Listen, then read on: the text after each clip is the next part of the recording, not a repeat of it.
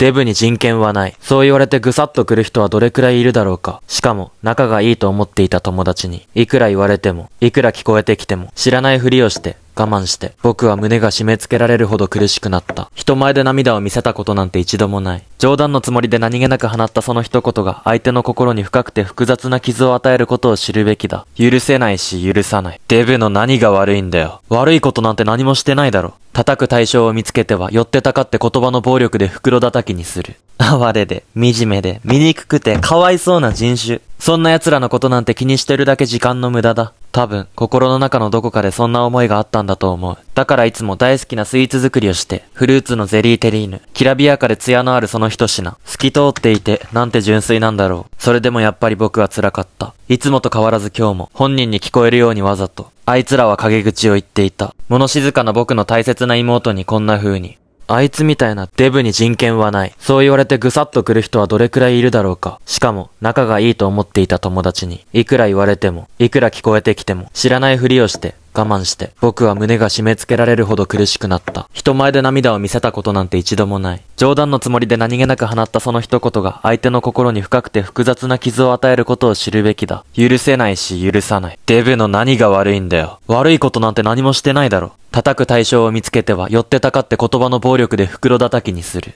哀れで、惨めで、醜くて、かわいそうな人種。そんな奴らのことなんて気にしてるだけ時間の無駄だ。多分、心の中のどこかでそんな思いがあったんだと思う。だからいつも大好きなスイーツ作りをして、フルーツのゼリーテリーヌ、きらびやかで艶のあるその一品、透き通っていて、なんて純粋なんだろう。それでもやっぱり僕は辛かった。いつもと変わらず今日も、本人に聞こえるようにわざと、あいつらは陰口を言っていた。物静かな僕の大切な妹にこんな風に。あいつみたいな、駅前で口説かれた。甘い言葉で誘惑されて、さりげなく腕を触られて、ものすごいナンパの勢いに負けちゃって、一緒に飲みに行った。そして、私はその後のことを考えただけで気分が悪くなって飽きそうになった。もう嫌だ。私はそう伝えた。どうしてそんなことできるの？嫌になる。私が悪いの。何でも悩みを打ち明けられる。信頼しているバイト先の先輩。私の話を聞いてもらった。どれだけ自分の気持ちを吐き出しても嫌な気分が完全に収まることはない。飲みに行って、その後の記憶がない。い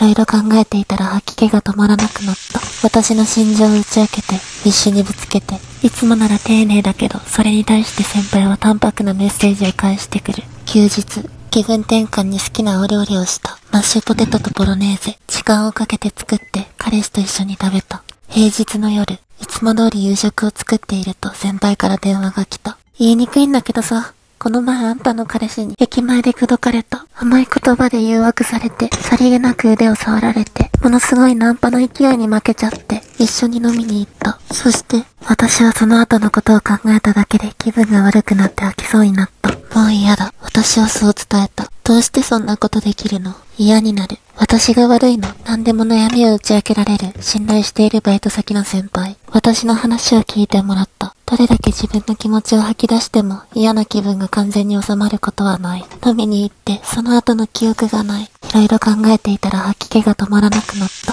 私の心情を打ち明けて、必死にぶつけて。いつもなら丁寧だけど、それに対して先輩は淡白なメッセージを返してくる。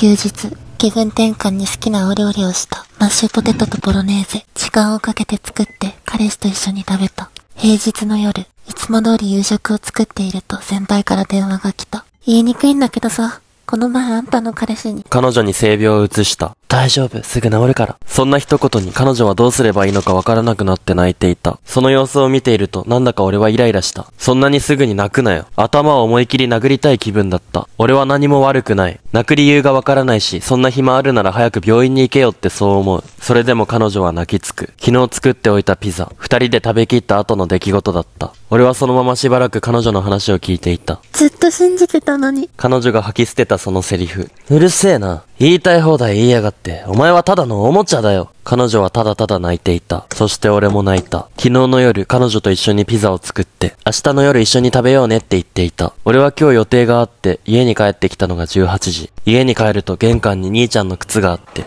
部屋をそっと覗き込むと案の定来ていた。こういうことは今までも何度かあったから別になんとも思わなかった。二人に見つからないようにこっそり話を聞いていたら耳に入ってきた衝撃の事実。兄ちゃんが俺の彼女に性病を移した。大丈夫、すぐ治るから。そんな一言に彼女はどうすればいいのかわからなくなって泣いていた。その様子を見ているとなんだか俺はイライラした。そんなにすぐに泣くなよ。頭を思い切り殴りたい気分だった。俺は何も悪くない。泣く理由がわからないし、そんな暇あるなら早く病院に行けよってそう思う。それでも彼女は泣きつく。昨日作っておいたピザ。二人で食べきった後の出来事だった。俺はそのまましばらく彼女の話を聞いていた。ずっと信じてたのに。彼女が吐き捨てたそのセリフ。うるせえな。言いたい放題言いやがって。お前はただのおもちゃだよ。彼女はただただ泣いていた。そして俺も泣いた。昨日の夜、彼女と一緒にピザを作って、明日の夜一緒に食べようねって言っていた。俺は今日予定があって、家に帰ってきたのが18時。家に帰ると玄関に兄ちゃんの靴があって、部屋をそっと覗き込むと案の定来ていた。こういうことは今までも何度かあったから別になんとも思わなかった。二人に見つからないようにこっそり話を聞いていたら耳に入ってきた衝撃の事実。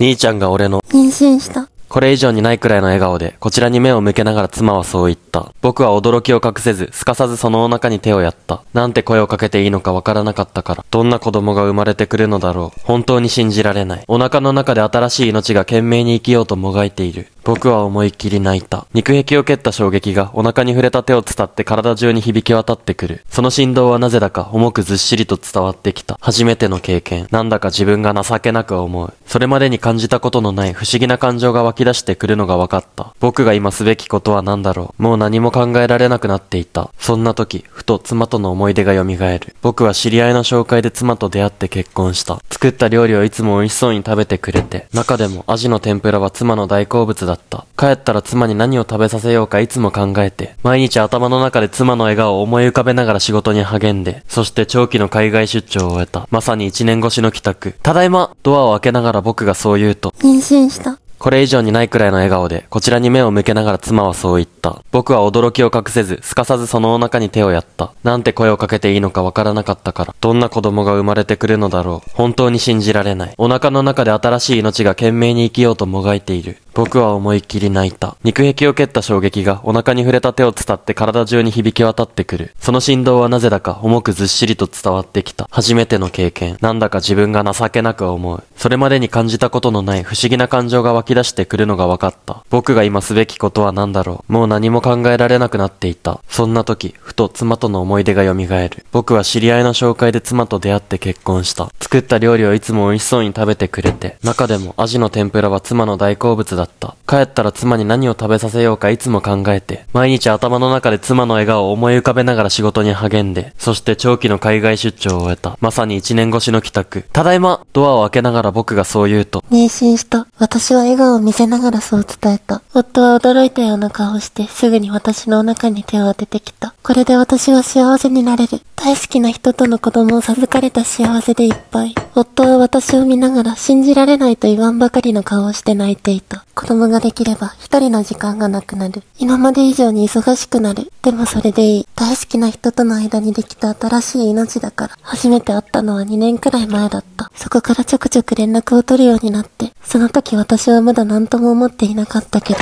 私の心に開いた穴を埋めてくれるような存在。一人で寂しく泣いている時、毎日家に来て話を聞いてくれて、いつの間にか好きになっていた。一緒に飲んだミルクセーキは甘くて安心感を与えてくれた。大好きな人のおかげで寂しさを忘れることができた。一年間の海外出張。その間夫は一度も連絡をくれなかった。早く夫と離婚して幸せになりたいから。ただいまそう言いながら家に帰ってきた夫に、妊娠した。私は笑顔を見せながらそう伝えた。夫は驚いたような顔をして、すぐに私のお腹に手を当ててきた。これで私は幸せになれる。大好きな人との子供を授かれた幸せでいっぱい。夫は私を見ながら信じられないと言わんばかりの顔をして泣いていた。子供ができれば一人の時間がなくなる。今まで以上に忙しくなる。でもそれでいい。大好きな人との間にできた新しい命だから。初めて会ったのは2年くらい前だった。そこからちょくちょく連絡を取るようになって、その時私はまだ何とも思っていなかったけど、